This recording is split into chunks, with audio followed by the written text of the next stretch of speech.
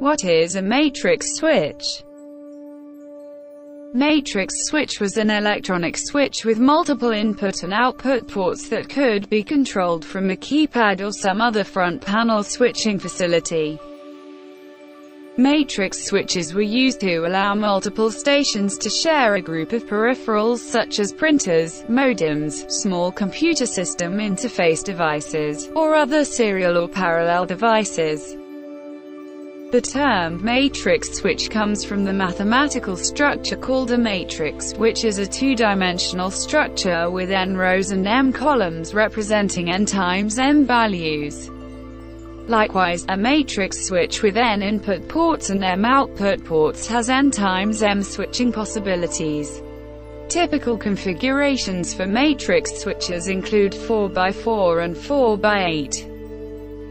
When printers started to include network interfaces this kind of equipment became obsolete.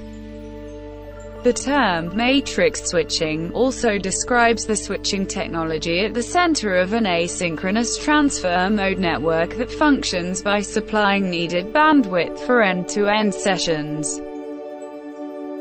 ATM matrix switching avoids contention by end stations on a network.